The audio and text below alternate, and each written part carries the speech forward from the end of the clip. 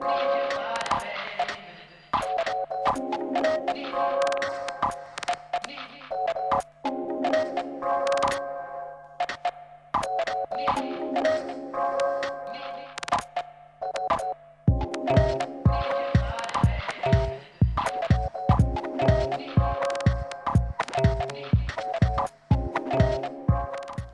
Buenas noches. Como hemos venido anunciando, hoy el debate de todos los martes en Teletoledo, este braserillo, va a ser un monográfico dedicado de forma especial a la caza en Castilla-La Mancha y en nuestra provincia de Toledo. A nadie se le escapa que la caza como actividad y como industria es un valor muy importante económicamente tanto para la región como para la provincia.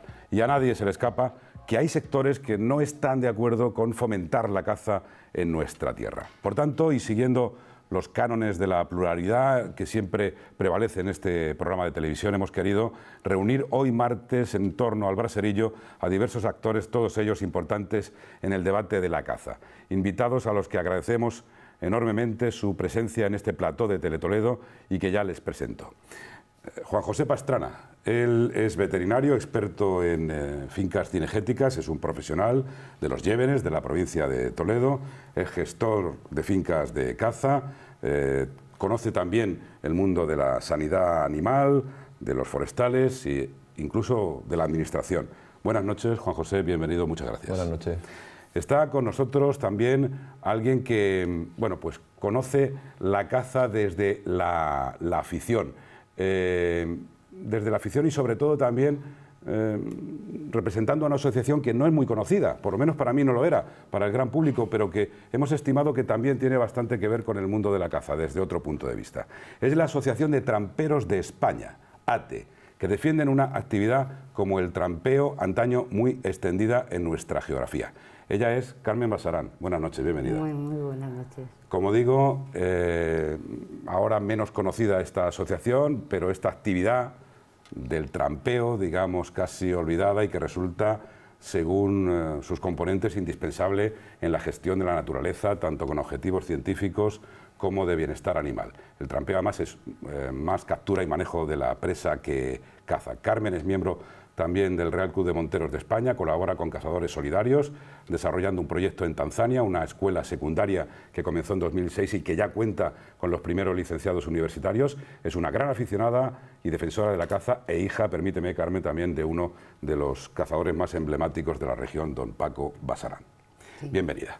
Se encuentra con nosotros Fernando Mora, es diputado en las Cortes de Castilla-La Mancha, es habitual de nuestro programa, pero hoy está aquí pues como una de las partes que han tramitado la nueva ley de caza en nuestra región, con muchos puntos a tener en cuenta y que vamos a tratar eh, esta noche. Fernando, buenas noches, bienvenido. Muy buenas noches. Muchas gracias por estar aquí. Gracias a vosotros. Hemos querido contar, por supuesto, con esa parte de la Administración que modificó la ley de caza, hoy con Fernando Mora, de 2015 y que va a ser también un punto álgido de este debate. Y también contamos con un representante de la Administración local que depende en gran medida económicamente de la caza como industria. Es el alcalde de los Navalucillos, José Ángel Pérez Yepes. Buenas noches, bienvenido, alcalde. Buenas noches. Y hemos elegido a una población con arraigo, la de José Ángel, eh, con historia y tradición cinegética por su grandísima extensión. Un pueblo toledano, los Navalucillos, que además tiene tres poblaciones anejas, tres pedanías todavía con más relación con la caza, ya que son punto de partida, como son los Alares, Robledo del Buey y Valdeazores. Y además la extensión de este término municipal cedió miles de hectáreas al Parque Nacional de Cabañeros. Está en, este braserillo, como decimos, hoy representando a un pueblo que sabe, conoce, disfruta y sobre todo defiende la caza. Más que un sector, es un movimiento y para sus miembros es una actitud. Hablamos del conservacionismo, de la defensa del medio ambiente y el medio natural, bien a través de la divulgación, la investigación y la denuncia. Tienen mucho que decir en esta actividad y para eso contamos con ellos en este debate. Ecologistas en Acción. Damos la bienvenida a Miguel Ángel Hernández. Buenas noches, bienvenido Miguel Ángel. Muchas gracias, buenas noches. Te agradezco mucho que estés aquí también. Él es el portavoz de la organización Ecologistas en Acción en Castilla-La Mancha y también ha sido parte fundamental de la tramitación de esa reforma de la ley de caza. ¿Cierto, verdad? Un poquito. Muy bien. Pues por último, un profesional, el coordinador general y delegado en Castilla-La Mancha de la Asociación Regional de Realas Españolas, Caza y Libertad. Juan Manuel Rodríguez, buenas noches, bienvenido. Hola, buenas noches. Eh, Arrecal se llama esta asociación, es realero, la reala de perros de caza solo existe en España, es una actividad que solo, como bien cultural, solo existe en nuestro país. Él es un realero desde hace 40 años, conoce todo lo relacionado con este mundo, su economía, pero también los cuidados sanitarios, de alimentación, que presta el mundo de la real a los perros. Muchas gracias a todos por estar aquí. Antes de plantear y encender este braserillo de la caza en forma de debate, sí me gustaría que brevemente cada uno de los seis invitados defendiera su postura ante la caza en general, su punto de vista personal, empezando por Juan José Pastrana, como veterinario. Eh, la sanidad es muy importante. Tú decías aquí, antes de comenzar el programa, pregúntame sobre la tuberculosis y la caza. Digo, ¿qué tiene que ver la tuberculosis pastrana y la caza? Explícanoslo. Bueno, es básico. Yo considero la caza como una actividad necesaria para mantener el bienestar social tal y como lo conocemos. Eh, tenemos que tener en cuenta que vivimos eh, inmersos en un, en un mundo eh, polivalente donde tenemos infraestructuras que cruzan la geografía nacional de cabo a rabo, que paran poblaciones, que paran su movilidad y tenemos una enfermedad emergente, una zoonosis, que es la tuberculosis y que está causando graves estragos y que tiene a eh, a elementos de, que aquí nos traen a debate hoy, a elementos de la caza, jabalíes eh, principalmente como su principal difusor. Lo vamos a traer a debate, a los jabalíes, a los venados, a la caza menor, a la caza, a la caza mayor, al medio rural, al medio agrario, al medio cinegético. Eh, hablaremos también con, con Juanjo Pastrana sobre ese punto de vista sanitario de los animales como veterinario de los montes, lo que rodea la caza en España, en la región, en la provincia, de todo eso, porque hay que saber que existen también excesos de población, enfermedades y también transmisión de esas enfermedades incluso a la fauna doméstica. Carmen Masarán, la caza, según compruebo por las actividades que realizan las asociaciones, asociaciones a las que tú perteneces, tiene una cara también amable y solidaria y especialmente incido en la Asociación de Tramperos de España a la que tú perteneces, que defiende una actividad como el trampeo, dices, indispensable en la gestión de la naturaleza, ya que también ayuda al control de plagas, el radio...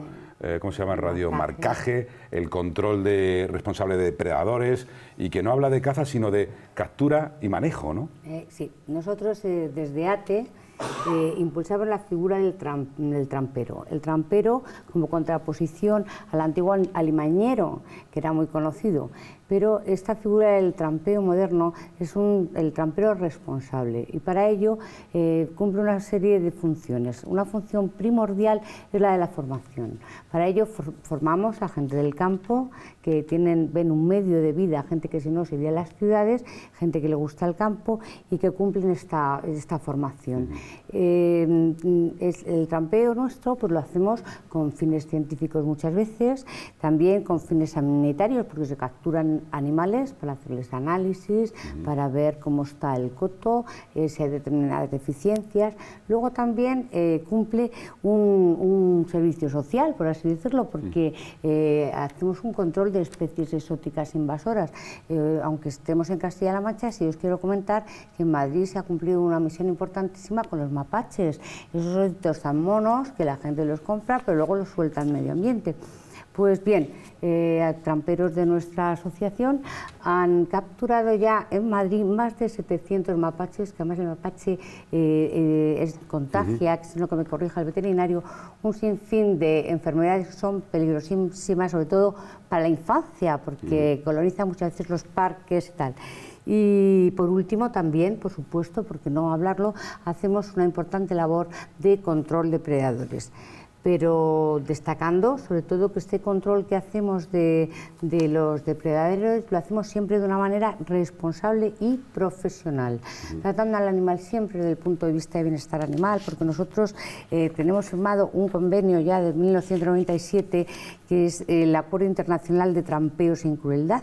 Y entonces España está eh, trabajando constantemente en estos últimos años pues para el desarrollo y homologación de trampas, que también es muy importante. Mm. ¿eh? Bueno, luego si queréis os incido más en el tema porque yo creo que es interesante y porque a mí me interesa mucho que conozcáis esta figura que es una gran desconocida y que, es muy coadyuvante al medio ambiente, a mantenerlo y a fomentarlo. Fernando Mora, las Cortes de Castilla-La Mancha acaban eh, de modificar una ley de caza en la región que según el consejero de Agricultura, Medio Ambiente y Desarrollo Rural, Francisco Martínez Arroyo, compañero suyo en las Cortes y también de formación política, el Partido Socialista defiende a la caza como parte de Castilla-La Mancha, de sus pueblos y también de todos los ciudadanos de Castilla-La Mancha.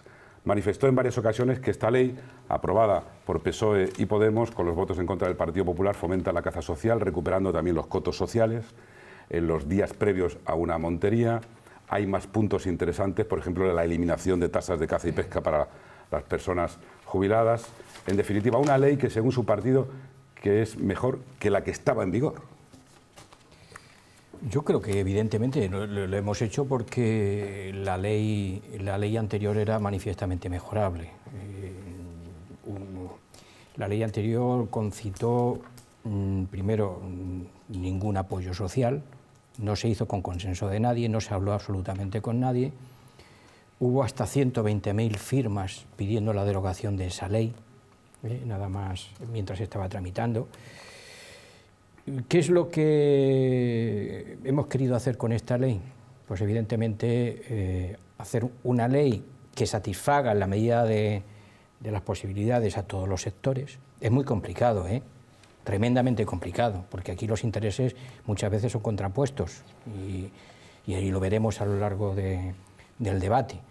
Pero evidentemente eh, yo creo que hay que conciliar intereses y a a mí, me hubiera gustado, y seguramente a todos los que estamos aquí, que esta ley se hubiese aprobado por consenso de todas las fuerzas políticas en el Parlamento.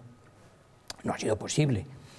Pero sí hemos tratado de alguna manera de ir trabajando el consenso a lo largo de dos años. Esta ley no es, el trámite exclusivo del Parlamento. El Parlamento es la última palabra, porque en definitiva eh, somos los representantes de los, de ciudadanos y se ha estado eh, hablando con, con, las diferentes asociaciones de, cazadores, se ha estado hablando con ecologistas, se ha hablado con todos los sectores implicados en el ámbito de la caza en uno u, en otro sentido. Y yo creo que se había llegado a un consenso bastante amplio dentro, dentro de lo posible, dentro de lo posible. Eh, cuando llega la, ley en las Cortes, evidentemente ya participan los grupos políticos y los grupos políticos también representan intereses.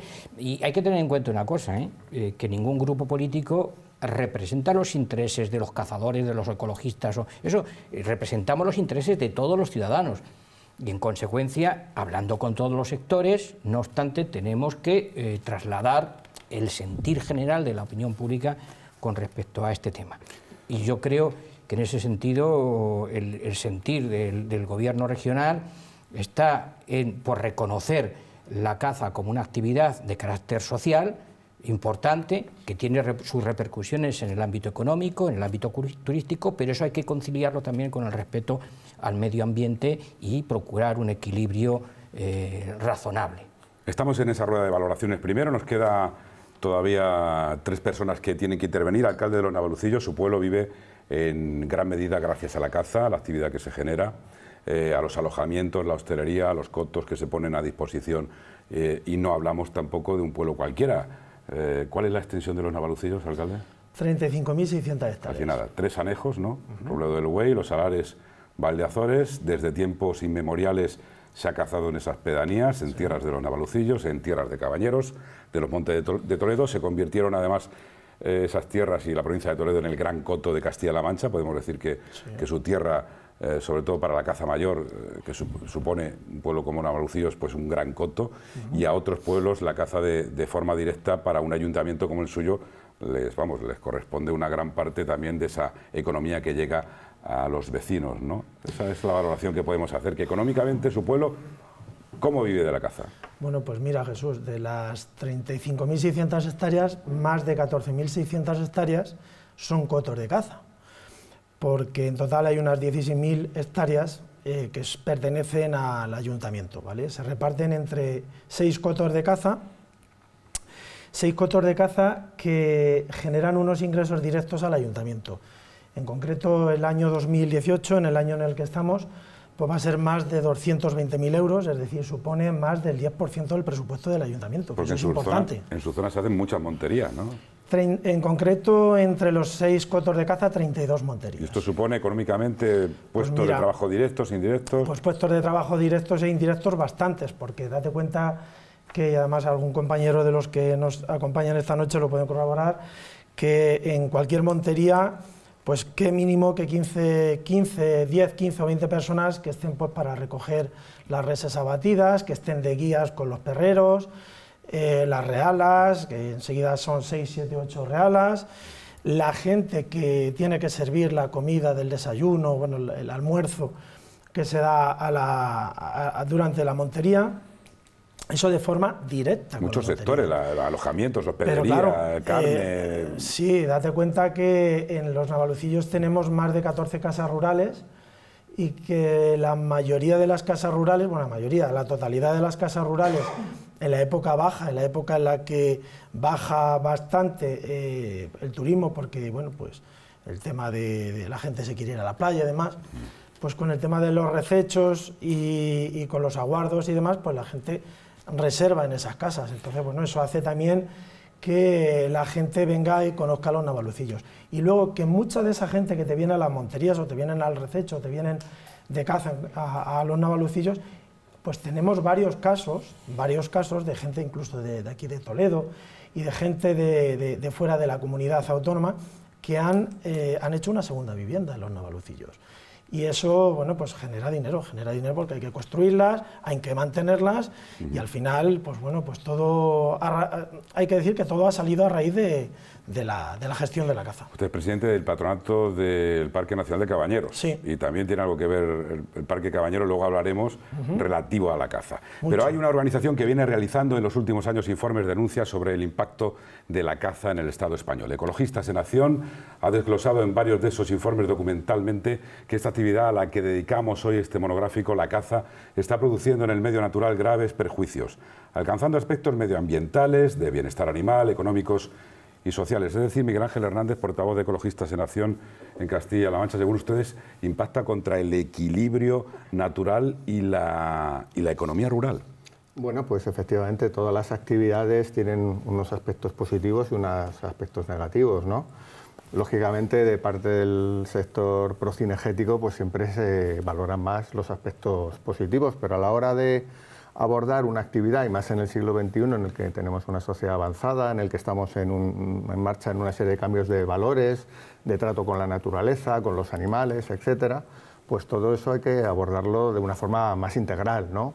Es verdad que estamos en una comunidad autónoma como Castilla-La Mancha, donde la caza tiene una eh, honda raigambre, eh, tiene un verdadero impacto en la socioeconomía de, de esta región eh, pero también es verdad que la mayor parte de los ciudadanos no somos cazadores, ¿eh? algunos entienden la caza, otros no la entienden y que ese elemento hay que tenerlo en cuenta. ¿no?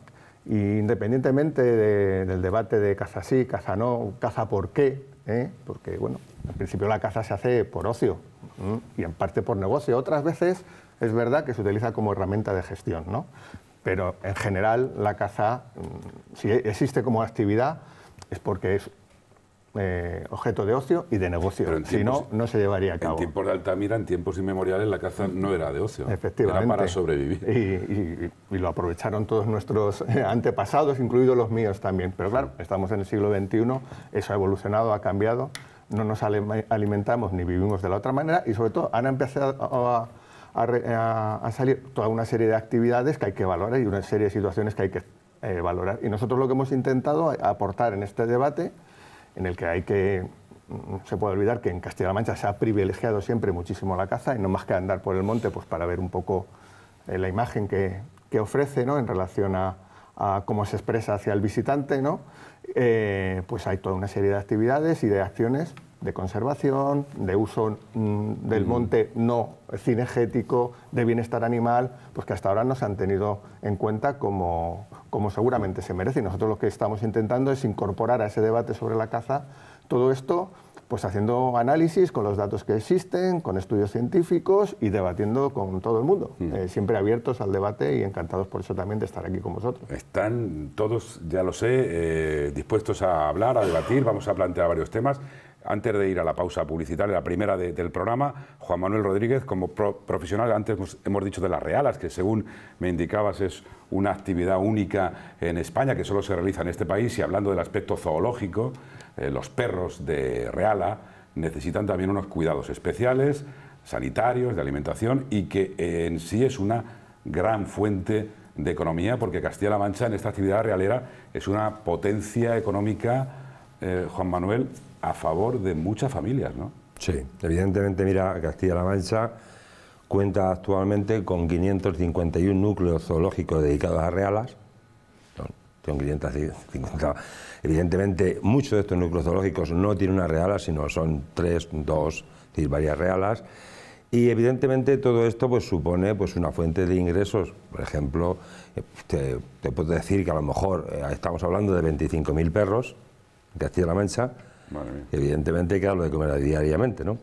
Eh, tiene unos controles sanitarios, evidentemente, Juan José Pastrana lo sabe, eh, como vacunaciones, desparasitaciones, tiene una serie de factores, evidentemente unas instalaciones muy adecuadas. Hoy día se nos está acusando mucho de, maltrato animal, nunca en la vida, yo pienso que una reala no se maltrata jamás al perro. Alguien me decía que los teníamos como esclavos, es mentira. Yo creo que desde hace 45.000 años desde Altamira el perro ha acompañado al hombre y ha acompañado para cazar. Y evidentemente la reala lo que sí mantiene es una, especie de perro profesional en caza mayor, cosa que evidentemente no hay en ningún lado. De hecho, eh, Andalucía, eh, Extremadura, están potenciando el tema del BIC, es decir, en vez de interés cultural, la montería y la reala española. Hay una pregunta, ¿hay realas de galgos? ¿Hay realas de...? No, no, la reala Generalmente es un conjunto de perros. Eh, normalmente es. Una raza especial. Una raza especial. Vale. Es decir, fundamentalmente es podenco, podenco, de talla grande, eh, el cruzado que llamamos, eh, el baldueza, que es un perro que actualmente se le, ha considerado, se ha considerado ya como, como raza, los naveños, es decir, una serie de perros que... Tú llevas 40 años en el mundo de la real. 40 años en el mundo de la Bueno, pues tenemos que hacer mención para pedir un análisis también a nuestros invitados sobre las concentraciones que tuvieron lugar en muchos puntos de España y concretamente en Castilla-La Mancha, en las cinco capitales de provincia, el pasado domingo 15 de abril. Aquí hay personas que estuvieron allí presentes. Los lemas estaban bastante claros. Estamos hartos, dicen los cazadores, de que se nos insulte, se nos criminalice que confundan las piezas de caza con las mascotas o animales sometidos a domesticación. Son un millón de federados, más familias y todos los que viven de la industria cinegética que se declaran víctimas del yugo ecologista y animalista. Alrededor de 150.000 manifestantes en todo el país salieron a la calle pidiendo respeto, ya que también es el modo de vida. Ese era el lema de muchas familias en todas las comunidades autónomas del país. Protestas en la calle que han tenido apoyos destacados, como la de la presidenta de la Junta de Andalucía, respaldando a los cazadores andaluces, de partidos como PP, PSOE y Ciudadanos en otras eh, ciudades y comunidades donde se llevaron a cabo el pasado domingo eh, miles de personas en la capital, aquí en Toledo y en Castilla-La Mancha, también se dieron cita para defender el papel que juega la caza en la conservación y dinamización del mundo rural. Carmen, allí estuviste. Pues, eh, en Toledo. estuve en Toledo, estuve con mi familia, estuve con amigas que no eran cazadoras y yo os voy a contar que yo estuve convencidísima en esa manifestación porque efectivamente he sufrido mis propias carnes el acoso a través de las redes, tuve que desaparecer de Facebook durante años, he, vuelto a retomar ahora y... Hay bastante odio. Sí, mucho. Eh, fíjate, a mí eh, lo que más me dolió fue que pusieron la foto de mi hijo con un amigo eh, con unas piezas de caza en una página pidiendo la abolición, llamándoles a los chiquillos de todo. Y, luego ya la emprendieron conmigo con palabras gruesas y al final acabaron amenazándome. Me amenazaron, me dejaron anotar en el parabrisas del coche, los cotos de caza arden, el tuyo puede arder en cualquier momento. Claro, ahí ya pensé en mi padre, digo, bueno, yo no tengo coto de caza, el coto de caza es de mi padre y no puedo hacer esto a mis hermanas. Y francamente eh, acudí a un policía amigo, me dijo, mira Carmen, eh, no hagas nada, pues no te va a servir de nada, desaparece de las redes, tal. Y luego me arrepentí mucho, fíjate, y me arrepentí mucho cuando el suceso de esta chica, la muerte de Mel Capitán, para mí fue algo que yo creo que movió conciencias y movió conciencias de toda España. Carmen, ¿qué es, eh, mira, estamos viendo imágenes, eh, ¿qué, qué, qué, qué sensibilidad eh, ¿qué sensaciones captaste tú en la manifestación de Pues en la manifestación yo lo que capté eh, era alegría de estar todos juntos. Y también echando de menos a muchos que no van y que luego quieren que les saquemos las castañas del fuego, pero allí había gente de todo tipo, porque había mm, chicos galgueros, había los de las asociaciones de los pueblos, había dueños de coto, había dueños de reala, en fin, era como una fiesta, luego nos fuimos a tomar el aperitivo y lo, lo que sí quiero decir es que nosotros no odiamos a nadie, nosotros no queremos eliminar a nadie, queremos que nos dejen ejercer en libertad una actividad que es legal y reglada y que nos merecemos un respeto. Ya no es cuestión de la caza, es una cuestión de libertad. Libertad. Pero tenemos que hacer la primera parada. Eh, yo he entresacado muchos titulares de, de, todos estos días, antes y después de la manifestación, que los cazadores piden respeto a la caza y al colectivo, que existe maltrato, como dice Carmen, permanente en redes sociales y también en medios de comunicación, eh, que se está traspasando la línea de la realidad y la lógica, atacando, como hemos dicho, con el odio lo que más les molesta es lo de utilizar la palabra asesinato. Ellos dicen, siempre se basan los cazadores, en que el hombre está arraigado al ecosistema y a cazar para sobrevivir desde que el mundo eh, se creó. Por tanto, eh, siguen apostando por un recurso natural y ético y además subrayan que la caza está regulada, que no puede cazar cualquiera y que España es el país con mayor legislación cinegética de Europa, ya que hay órdenes de veda en 18 comunidades, ya que en Ceuta también se caza. Luego seguiremos hablando, primera pausa aquí en el Braserillo, seguimos debatiendo hoy el Braserillo de la caza.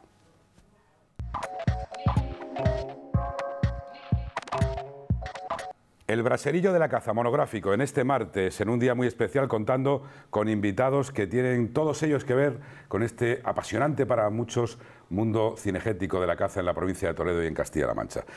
Juan José Pastrana, veterinario. Existen 33.000 cotos en este país y un plan técnico que regula esta actividad. Eh, también los cazadores, antes lo decíamos, mantienen que si no hubiera caza sería un disparate con problemas de superpoblación aplastante, ya que el jabalí está llegando a áreas urbanas, Cazar estas especies, dicen los cazadores, que controlaría los accidentes, por ejemplo, de tráfico. En la agricultura, restringiendo la caza, el ecosistema se está viendo también muy afectado por la falta de actividad cinegética. Digo, son todos argumentos de los cazadores.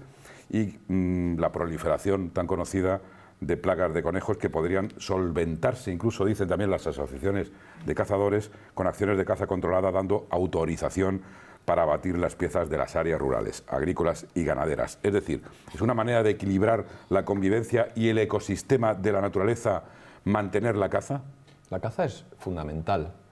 Nosotros estamos eh, habituados a disponer de una serie de, beneficios en, en, nuestro entorno, de tener unas autopistas, de tener eh, eh, un ferrocarril, de poder conducir libremente por, por unas carreteras, de tener unas plantaciones, de, de, tener nuestros cultivos.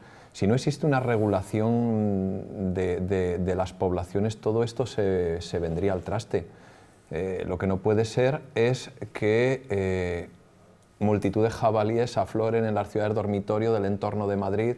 Lo que no puede ser es que los conejos estén comiendo los almendros. Lo que no puede ser es que la tuberculosis avance tremendamente y suponga un riesgo sanitario en, en, en toda Europa, especialmente en España. Es más, si no existiera la caza, que a mi juicio eh, mata pocos animales, tendría que intervenir el ejército. Es básico, fundamental. Fernando Mora, ya ha levantado la mano y también sí, no, no, Ecologistas en Acción. No, Adelante. la mano al, al, al, del, a los argumentos de, de, la, de, los, de los, cazadores. A la cuestión de los conejos que tú mencionabas y que tú también has mencionado. ¿verdad? Yo creo que hay, hay dos cuestiones. Primero, sabes que hay una orden de emergencia cinegética que está, que está en vigor, con lo cual se pueden cazar conejos todo, todo el año. Vale. El problema yo creo que va más allá de eso. ¿eh? Además, ido hablar de los conejos y no, no, no, no, como cuando que, le da la luz en larga. No, es que, es que, es importante, no, pero ya me, ya me vinculo con otra, con otra cosa, no solamente porque ahora se puedan cazar los conejos en, en cualquier fecha del año, ¿eh? para, para tratar de regular esa superpoblación que, que hay sino porque también los, el problema es que en muchos casos los depredadores no existen en determinadas zonas. Y es importante que también en la naturaleza hay un equilibrio. Hay un, un equilibrio para que el único depredador no sea el hombre, porque a veces el hombre no da abasto. ¿Vale? Como es el tema del, del, caso de los conejos. Posiblemente, eh, si hubiese más zorros, ¿eh? que muchas veces pues, se, han, se, han, se han aniquilado, pues a lo mejor tampoco había tantos conejos. ¿eh? Miguel Ángel Hernández, Ecologistas en Acción. Se da incluso a veces la circunstancia de que el mismo coto que pide cazar más conejos porque hay superpoblación de conejo, a la vez está pidiendo permiso para control de predadores y mata más zorros que nunca. El tema del equilibrio ecológico es algo muy complejo, ¿eh? que no depende solo de un factor. Eh, generalizar pues, pues nos puede llevar a cometer errores, pero bueno, en un debate de estas características al final hay que ir a, mensajes generales. ¿no? Y lo primero que hay que decir es que cuando hay un equilibrio ecológico, desde luego hay una causa subyacente. La causa no suele ser la especie, porque las especies se regulan solas en los ecosistemas. Cuando hay una, hay, sí, sí, se regulan solas si hay un depredador y hay una presa. El problema, y lo ha señalado, el problema, y lo ha señalado Fernando, es que en muchas ocasiones hemos eliminado a los depredadores y, por cierto, muchas veces ha sido la propia caza quien ha eliminado esos depredadores. Y termino muy, muy brevemente. Cuando, cuando se dice que la caza equilibra el medio natural, hombre, pues a mí me gust- yo lanzo solo una pregunta. ¿Cómo se puede entender que, por ejemplo, en el tema del jabalí, que estamos diciendo que hay muchos jabalís, se siga permitiendo cebar jabalís en los cotos de caza, porque se les está cebando con maíz, con pienso, con plantaciones, ¿eh? o que se permita que siga habiendo cotos intensivos de jabalí donde se traen jabalís en jaulas y se sueltan para cazarlos. Es decir, o hay muchos jabalís o hay pocos. Si hay muchos, tendremos que ser nosotros los primeros que evitemos el que haya más jabalís. A partir de ahí, con más conocimiento de causa, podremos valorar en qué, en qué forma la caza puede ser una herramienta de gestión, que hasta ahora, salvo yo diría que casi ningún caso.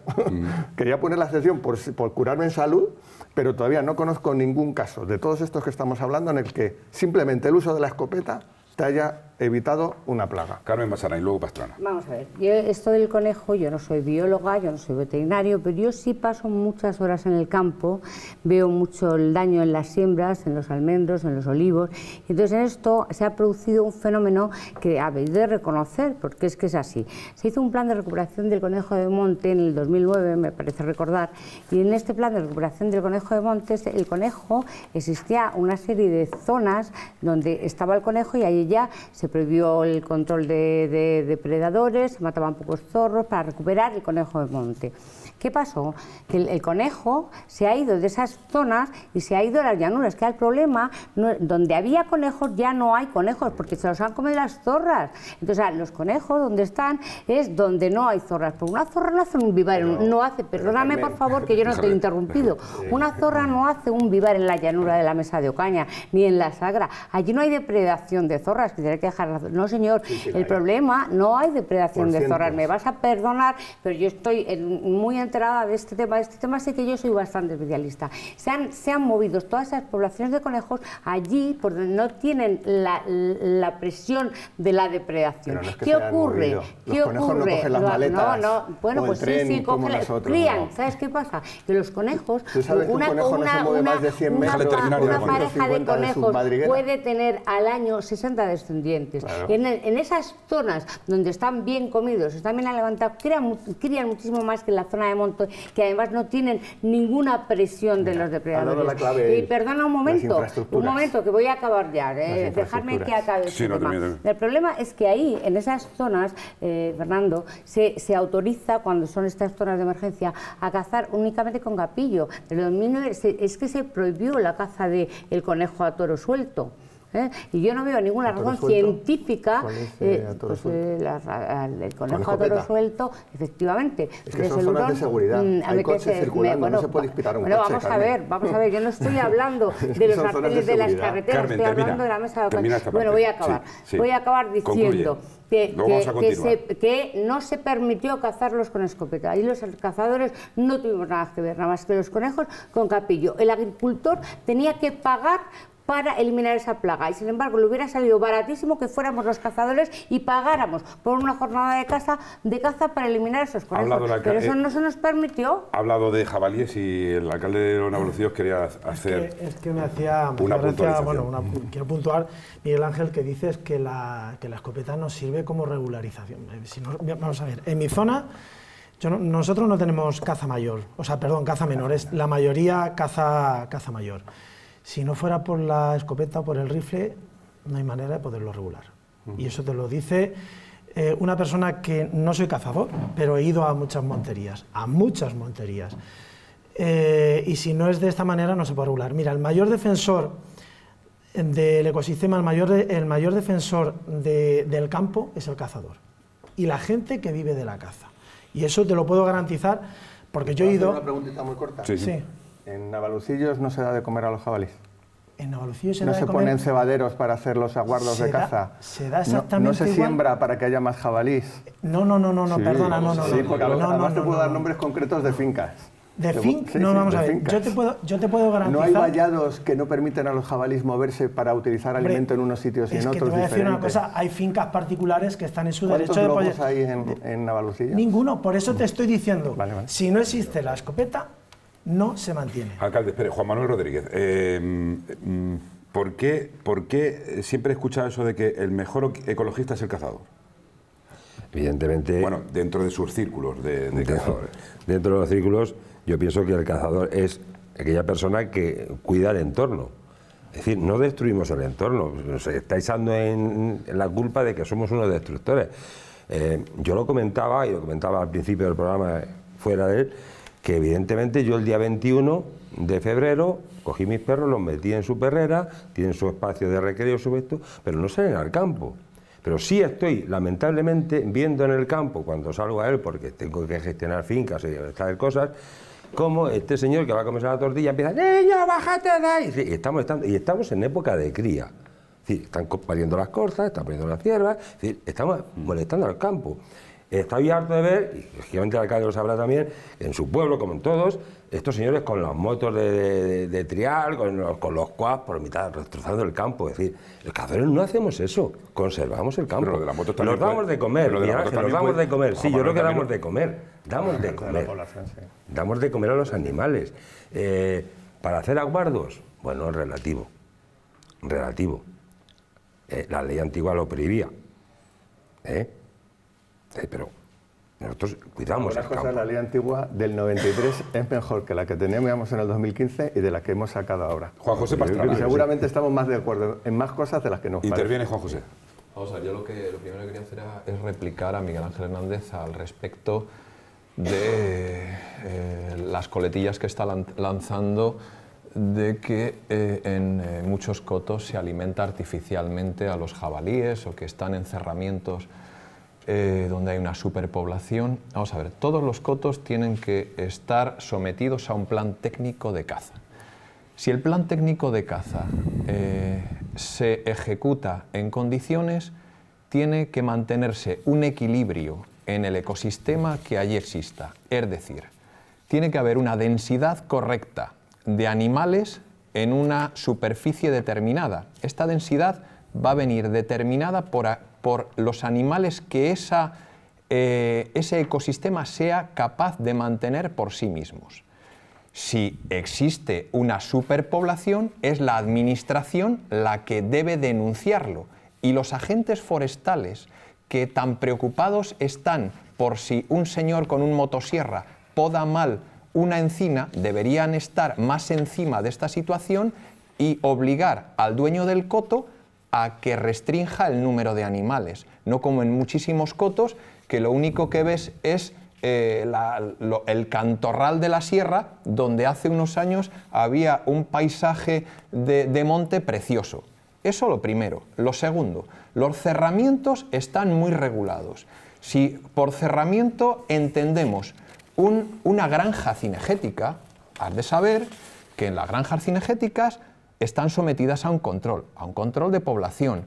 Eh, emitimos una serie de informes semestrales a las oficinas comarcales agrarias informando del número de animales y ejecutamos el Plan Nacional de Saneamiento frente a la enfermedad de Auyeski y frente a otra serie de enfermedades. Además, por nuestra cuenta, en muchísimas ocasiones, animales enfermos o animales que se abaten por cualquier circunstancia, les realizamos una necropsia para informarnos e informar eh, a, eh, a la propiedad de, los, de las posibles enfermedades que allí hay. Mm. Miguel Ángel. Sí, yo creo que como tú, que somos técnicos los dos, pues somos firmes valedores de la ortodoxia en la gestión, ¿no? O sea, En los cotos de caza hay unos planes que ahora se llaman de ordenación cinegética, que lo lógico y lo normal es que esos planes respondieran a la realidad del coto y que lo lógico y lo normal es que el gestor del coto lo ejecutara conforme a ese plan. El problema es que entre el papel y el campo hay una gran distancia. Pues entonces el problema no lo tiene el cazador. Bueno, el problema eh, es de la administración que no sabe responder Pero esto es como quien defrauda Hacienda. El primer culpable es el que defrauda. Luego vendrá el inspector a vigilar y a multarnos si defraudamos. Pero si el cazador es responsable y el cazador es el primer valedor de la buena gestión cinegética, tendrá que ser el propio cazador el que se autorregule. Muchas veces a nosotros se nos dice, no nos hace falta legislación cinegética porque el cazador, como se dice aquí, es el primer ecologista, el primer defensor del medio ambiente, el primero que va a defender la caza y el primero que lo va a hacer bien. Hombre, a mí me pasa como conductor, ¿eh? para que no pensemos que quiero lanzar un mensaje eh, sectorizado. Yo también conduzco de maravilla, pero me ponen unas leyes, unas normas, un ganas de conducir, una renovación y tengo que cumplir con todo. Pero el marco en la casa eso, pero el marco eso se sobrepasa por la realidad permanentemente. y la prueba, las plagas. El marco legal que si tú se gestionaría bien la caza, no habría plagas. El marco legal que tú propones es un marco de superpoblación. El marco al que debería llegarse es a un marco de control, de una densidad correcta. Tú estás hablando de una cantidad de animales tremenda porque me da miedo, me da pena, porque no quiero matar a Bambi y lo que eh, los cazadores eh, pretenden es un control cinegético correcto para que ese ecosistema sobreviva. Se ha hablado de, enfermedades. Em, voy a aportar un dato de hace unas semanas, muy pocas semanas. Es una noticia que llegaba de la Comisión Europea, habla de la peste africana eh, la Comisión Europea ha mostrado su profunda preocupación por el avance de la peste porcina africana debido al aumento de la población de jabalíes que trasladan la infección por toda Europa. Esta es una patología que de llegar a España originaría una hecatombe de la economía del sector porcino español, tanto por la mortandad que produciría como por el desplome del comercio y la exportación. Y los técnicos de la Comisión Europea han concluido que ante la falta de recursos, la única manera de controlar esta y otras enfermedades, esto está cogido del portal de la Comisión Europea, ¿eh? otras, de, controlar esta y otras enfermedades como esta peste, porcina africana de la fauna silvestre, combatirlo sería la caza, ya que es necesario abatir jabalíes para disminuir su sobrepoblación. ¿Estás de acuerdo con esto, Miguel Ángel? creo que más sobrepoblación de, de, cerdos en las granjas, en las macrogranjas. Que no se es, otro tema. se mueven. Que, están que ahí las criaturitas a verlas venir. ¿Por qué dice esto la Comisión Europea? Bueno, a ver, la Comisión Europea, para empezar, nos tiene muy habituados a lanzar estos mensajes alarmistas que nos ponen a todos los pelos de punta. No sabemos si podemos comer chorizo o no podemos comer chorizo, si tenemos que hacernos todos vegetarianos o si tenemos que, no sé yo, muy bien, ¿no? O sea, periódicamente no sé muy bien con qué finalidad, eh, porque se me, se me escapa. Eh, venimos con este tipo de mensajes, luego se generan unos conflictos enormes, le hace el caso de las vacas locas y las consecuencias que tuvo, tanto para la ganadería como para la naturaleza, al retirar del campo una gran cantidad de ganado que, del que se alimentaban las aves carroñeras, y todo eso se hace sin ningún criterio y sin una valoración global de los impactos. En este caso, habrá que estudiarlo, evidentemente, pero estamos en lo de siempre. Nos fijamos eh, en, el medio ambiente, que es al final el que lo paga todo. Habrá que ver de dónde ha venido esa peste eh, porcina africana, quién la ha traído y de qué manera, porque no creo que haya sido un jabalí cruzando mm. por el estrecho de, Gibraltar. Antes de Probablemente haya venido un camión. Otro tema para no ir divagando, para ir centrando el debate, vamos a ir a, la economía. Pues Carmen quiere decir algo. a mí la neurona que me queda me la quemáis. Vamos a ver. He oído una cosa que, que, a mí me ha alarmado. Ya has dicho lo siguiente. Dice, porque mm, eh, tú y yo que somos técnicos y por tanto valedores de la ortodoxia, pero bueno, vamos a ver, yo soy cazadora, yo no soy técnica, yo soy valedora de la ortodoxia, porque yo como cazadora tengo mi ética, yo amo al campo. Tú has hablado de la caza como ocio, no. La caza para mí no es ocio, la caza para mí es un modo de vida porque la caza no se resume en el lance. La caza es estar en el campo, es patear el campo, es conocer al animal, es querer al animal, es saber sus creencias, es saber sus ciclos vitales, es cuidarlos, es cuando nacen esas polladas de perdices seguirlos, es hacer los conteos de los padres de las perdices, en lo que estoy yo todas estas tardes pateando en el campo. Es esfuerzo, es dedicación, es amor. La caza es vida. Eso es lo que quiere decir. Bueno, pues eh, muy bien contra el sentimiento no se puede luchar y yo contra no voy a luchar contra los sentimientos. Yo lo único que le digo que tengo los mismos sentimientos con ella con una pequeña diferencia. Yo también hago todas esas Y observaciones y también. armo el campo. Sí. La única diferencia es que yo No matas. no pego un tiro a lo que veo, le pego un tiro de cámara de fotos.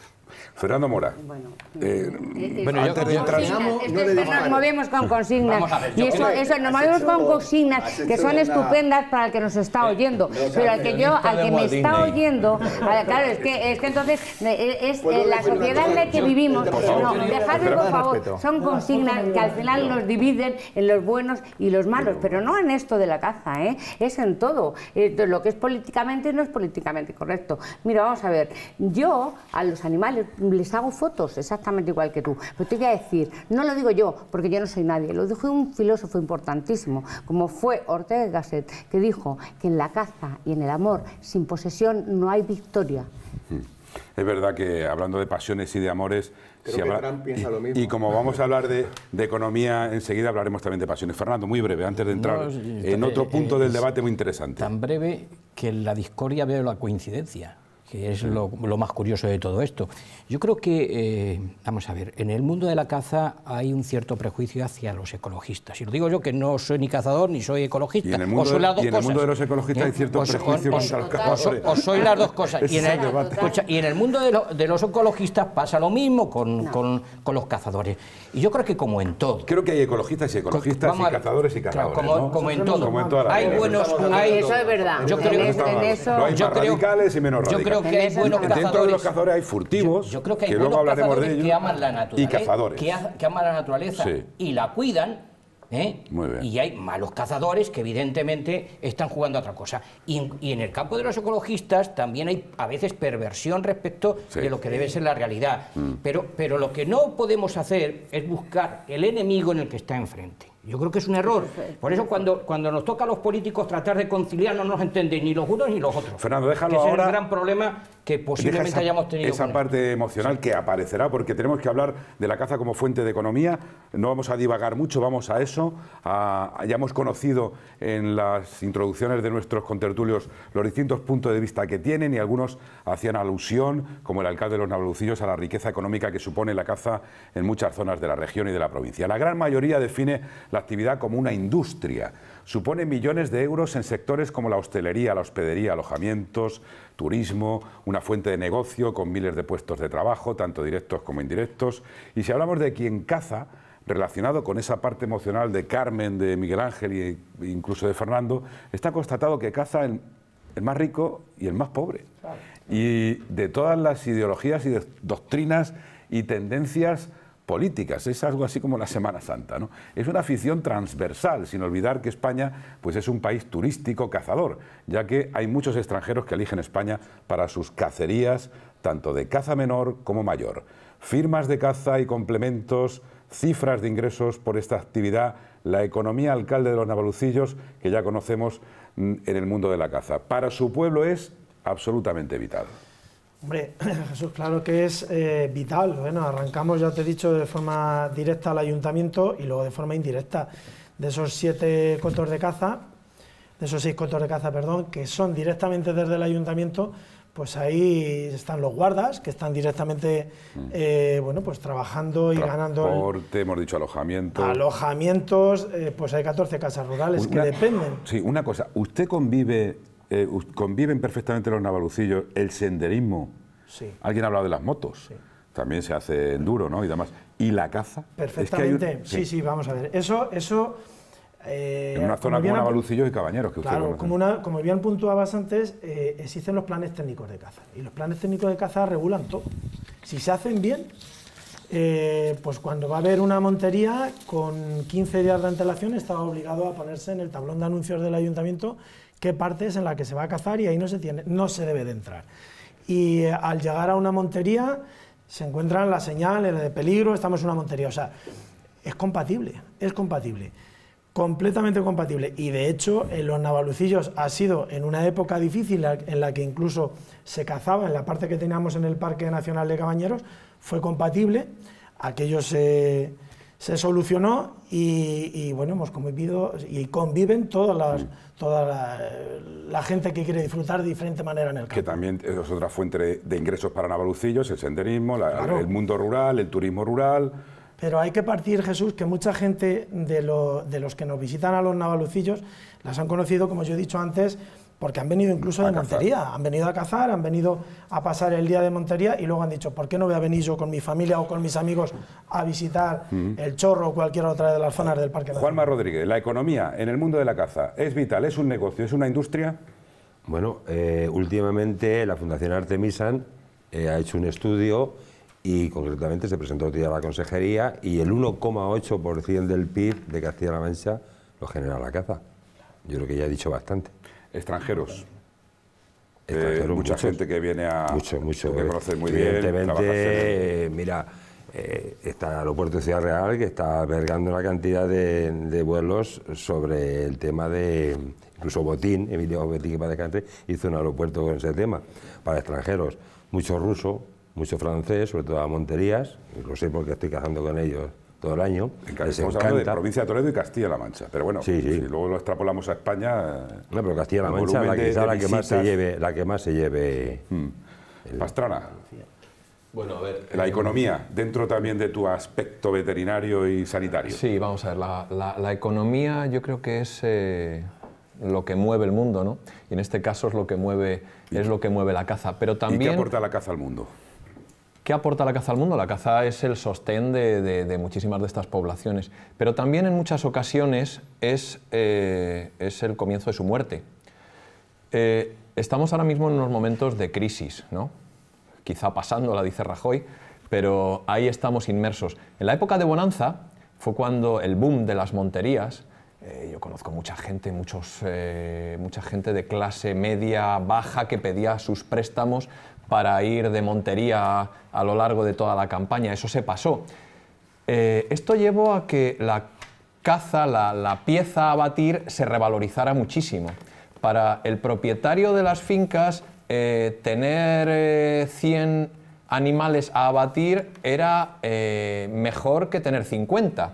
Se comenzó una superpoblación en las fincas. Cuando vino la crisis, el propietario de la finca que no estaba tan en crisis como el cazador, eh, quería seguir manteniendo, manteniendo sus ventas y sus ingresos. Se suspendieron muchas monterías, se dieron menos monterías, monterías con menos caché. Este menos caché hizo mayor superpoblación de las fincas. Y esos son los resultados ahora mismo de que muchas fincas estén asoladas se haya, desaparecido el monte. ¿Y ya se ha reciclado la caza después del boom de, la, burbuja no, Ahí es donde yo quiero llegar a parar. Eh, meter animales en una finca, como decía antes Miguel Ángel, es fácil, es muy sencillo. Lo difícil es meter el monte. Si lo has destrozado, ese no va a aparecer nunca más. Mm. Eh, no he hablado de un sector, bueno, me acaban de mandar un mensaje a estas horas de la noche ya, un taxidermista que también es un, un, sector importante, muy importante. Y los guarnicioneros. Y los guarnicioneros. Bueno, en definitiva, la, la, economía te va a tocar ahora, después, y a Fernando también, después de la publicidad, en este monográfico dedicado a la caza en Castilla-La Mancha y en la provincia de Toledo.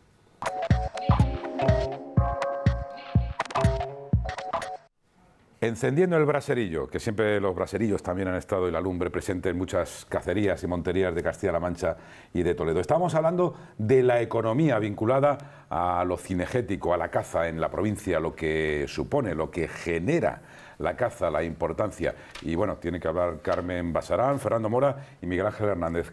Carmen, dentro del apartado de economía, ¿qué destacarías? Dentro del apartado de economía, para dar los datos técnicos que tengo aquí delante, la evaluación del impacto económico, social de la caza en Castilla-La Mancha, bueno, ya ha hablado de ella Juanma, pero yo puedo deciros que la caza generó 57 millones de euros de retornos fiscales en Castilla-La Mancha para las arcas públicas. ¿eh?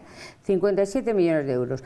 Dado que el presupuesto anual del gasto público destinado a la caza fue de 11,4 millones por cada un euro de este gasto, se generaron 3,5 de recaudación, así como 52 euros de gasto realizado por el, sector privado. Es decir, esta es una, una parte pequeña. Luego tenemos, generamos también con, licencias, pagamos licencias, lo que tenemos perro, como ha dicho él, pagamos veterinario, el, tema de las es importante, los guarnicioneros, los armeros, la ropa, porque también oye, pues a mí me gusta ir mona a, cazar, pues ¿por qué no? Y llevar unas botas buenas y un buen paraguas y un buen impermeable. Y luego, muy importante también, los coches, el, sector del automóvil, ¿eh? las gasolineras, pues llenamos el, depósito. Es que, en fin, es que es un abanico mm, económico el que genera la caza que, que es inabarcable. Mm, tomamos aperitivo, cenamos, comemos. Cuando vamos, normalmente vamos con amigos. Y como vamos con amigos, una reunión social donde paramos a desayunar en un pueblo, en el otro compramos las magdalenas que son buenísimas y ya todos lo sabemos, paramos en otro sitio en Navidad porque en este sitio hacen un roscón de reyes.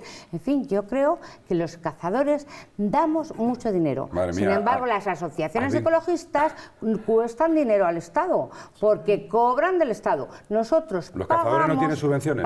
no, no, no, no. Vamos a ver, yo yo como cazadora me gasto mi dinero en cazar y, yo no sé si las asociaciones de los pueblos, pero yo creo que poquitísimo. De todas formas, eso es un misterio, porque yo muchas veces eh, pregunto, bueno, pero ¿qué eh, subvenciones se mueven? Y es que es un misterio, porque nadie te habla del dineral que mueven todos estos proyectos de Ecologistas Nación. Pero lo que tengo claro es que a mí el campo y a muchos dueños de coto y a muchos cazadores nos cuesta dinero ponemos el dinero y hay otros que el campo es una excusa para llenarse el bolsillo. Eso es una realidad, señores, eso no se puede cambiar. Aporto un dato más, más de un millón de cazadores en España, federados, licencias de armas se calcula un poco más de un millón, 130.000 licencias en Castilla-La Mancha, más que otras actividades deportivas, más de 6.000 cotos en la región y más del 90% del terreno rústico está dedicado en Castilla-La Mancha a la caza. Miguel Ángel Hernández, ecologista. En esas cifras hay luces y sombras. Pero lo primero yo le lanzaría una pregunta a Carmen, ya que conoce también las cuentas de Ecologistas en Acción. Eh, no, no, no, no, que es un misterio, es que, es que es tan transparente que es un cero absoluto de subvenciones de la Junta de Castilla-La Mancha a asociaciones, no solo a ecologistas. ¿Y de Europa? Déjale que termine. Vamos a ver, estamos hablando de Castilla-La Mancha. Europa, Ecologistas en Acción, cero absoluto también. El único dinero que recibe Ecologistas en Acción es el 90% del trabajo voluntario. Yo estoy aquí hoy. Sí, no cobra, ¿no? ¿Eh? Estoy aquí Tú no cobras de, mi dinero y no cobro de Ecologistas en Acción. Bueno, pero no, hablemos de lo, entonces de lo que no conocemos y no, y no comparemos, ¿eh? porque hay muchos tópicos. Bueno, hablando de economía... hemos salido a, manifestarnos pidiendo respeto, pero también hay que pedir respeto a los demás y hay que ser rigurosos en Todos estos datos de que estamos en el debate, en el punto importante del tema si la economía si la caza genera de verdad economía, hombre, todas las actividades generan economía. La construcción de guillotinas en la Francia eh, de la Revolución sí, Francesa pero eso era la Revolución Francesa, generaba economía. Y yo no presentaba el braserío en aquel momento. En cualquier caso, no deja de ser un comentario un poco demagógico y lo reconozco. Y por lo tanto, cualquier actividad genera economía y eso hay que reconocerlo. Lo que hay que ver son las cifras y si también se genera un impacto negativo. Sobre las cifras, lo primero, hasta este año no hemos tenido un estudio sobre la economía de la caza. Creo que estamos todos de acuerdo. ¿eh? La única referencia que había era en la página web de la Junta una referencia muy vaga a los dineros de la caza, pero hasta ahora no ha habido un estudio. Yo lo que sí quiero preguntar es por qué este estudio no se lo hemos encargado a la Universidad de Castilla-La Mancha y se lo hemos entregado a una asociación privada de cazadores en el que está la Federación de Caza, están asociaciones de productores de caza, está la Asociación Nacional de la Caza y no hay ninguna institución científica. Entonces, y además les hemos dado un contrato a dedo. Mira, eso sí es dar dinero. Lo ha hecho Deloitte, eh, eso, lo ha hecho no, Deloitte. sí, lo ha hecho Deloitte. No, lo ha hecho la Fundación Artemisa. No, perdón, lo ha hecho Deloitte. No, luego se lo habrán encargado, a, Deloitte, que por cierto es una gran auditoría que se anticipó muy bien a la crisis económica y financiera y nos ayudó a todos los ciudadanos a superarla gracias a su, a su gran, a su gran profesionalidad. Pero Termino con esto. 18.000 euros de dinero público dados a dedo a la Fundación Artemisan, ese es el aval que tienen los dineros de la caza. Y con esto no quiero decir que, por supuesto, la caza genere economía. No pongo ninguna duda los datos que ha dado el Ayuntamiento de Navalucillo porque son de libro, son de manual. Pero si uno echa cuentas, y he preguntado a muchos alcaldes, porque claro, es que al final en este mundo de la infoxicación, en que todo el mundo manejamos datos un poco de oídas o de tal, y, actuamos con prejuicios, al final hay que preguntar. ¿eh? yo, te voy a decir a, los alcaldes vecinos tuyos, no voy a dar el nombre porque los voy a comprometer, ¿eh? pero me han venido a decir lo siguiente, que un tercio de los vecinos, durante un tercio del año, consiguen un tercio de los jornales en ese año. Es decir, lo que le aporta al pueblo es un 27avo de su actividad económica. Que no voy a decir que sea poco, ¿eh? que seguro que es mucho, porque en estos tiempos que corren de escasez, cualquier aportación, cualquier aportación es importante, fundamental, y más para un ayuntamiento, para un servicio Déjale público. que conteste. Pero Sí, concluye. que las cifras son relativas y también hay que compararlo con otras actividades que generan mucha economía y mm, José Ángel Pérez Yepes. A ver, Miguel Ángel, eh, y con un céntimo que se genere en ese pueblo, le tenemos que dejar porque solo es un céntimo. Vamos a ver, La economía... No, no, no, no, no. no. Estoy diciendo, por supuesto que no, hay que dejar Claro el que no, vamos a ver. El dinero, el dinero que se pueda generar alrededor de la caza, siempre con el máximo respeto. Con to- en todos los ¿eh? sectores, ¿eh? ¿eh? hay muchos sectores. Claro, es que la, la caza en sí, Jesús, en, nuestra, en nuestro municipio, en nuestra comarca, genera no solo de forma directa, sino de forma indirecta. Y como bien has dicho antes, Claro, el tema... El tema conductores, perros, es que claro, es que es muy extenso, la línea- Es la línea muchísimo. Y así y la sí que es cierto, vamos a ver, Navalucillos, los mira, generan, los fotógrafos de la Navalucillos naturaleza. tiene ahora mismo también. dos- O sea, unos las 2.200 expulsiones de habitantes. jubilados, de, co- de colegios. Eso es mínimo, eso es mínimo. no, no, no, Para es- con los cada día cazadores es, es mayor. Igual que la actividad de la caza, mira. Cada día es menor y hay menos licencias, porque eso es un hecho Pero, pero- estadístico. pero eso es otro Concluye, tema alcalde, diferente. déjale que Pero- pero concluya. es otro tema diferente. Si vamos a que en Navalucillos ahora mismo hay seis cotos de caza y hay cinco familias todo el año viviendo, pues sí, dices, bueno, pues es que al final, al final son cinco familias. Y es pero es que no, cada familia es importante. son importantes esas cinco familias, pero son importantes que de esos eh, 32 monterías, eh, de esas 32 monterías, a razón de 12.000 euros cada montería de costes que van en jornales, eso se queda en los navalucillos. Igual que se queda en los navalucillos, se queda en todos los pueblos, incluso de esos alcaldes compañeros míos. Juan Manuel, Lo acaba de en ventas decir. con Peña Aguilera, en Lo tu acaba pueblo de también decir. se queda algo, Bueno, ¿no? Ventas, eh, hay un problema, pero Ventas fue un pueblo importante en su día en cuanto a caza. Aporta otro dato más. Eh, fue importantísimo. De hecho, yo decía que cuando se pagaba la caza en, en ventas, tocaba la lotería. Si suma- yo contabilizaba más o menos 300 cazadores diarios en el pueblo. 300 cazadores 300 diarios. cazadores a los conejos. El conejo era terrible, ventas, uno de los mejores cotos que, que ha existido. Que eran 300 bocadillos, 300 cañas, 300 barras de Y pan. al caer esa economía, Juan Manuel, Ha caído. ventas, hay Ha caído, ventas ha de caído picado. muy importantes de ventas con Peña Aguilera.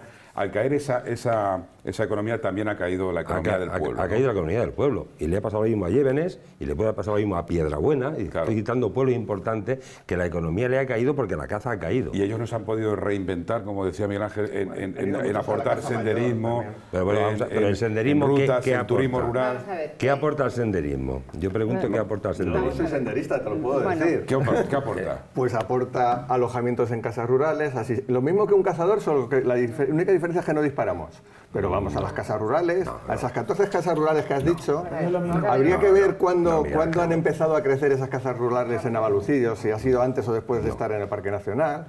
¿Eh? Eh, aporta eh, restaurantes, aporta lo mismo. Si es que Bueno, vivimos vamos- igual que un cazador, solo Vamos que a entrar luego, vais vais a de tener tiempo escopeta. también de muchas consideraciones de forma más general, pero Fernando Mora... Yo creo que no- tenéis un problema todos, ¿eh? Sí, ¿cuál es el que problema? tienen que convivir más. Bueno, Fernando, Porque, porque- porque- Vamos a ir, no, yo yo, yo, os- acompaño. Yo desarmada, ¿eh? Yo os acompaño. Yo también. ¿eh?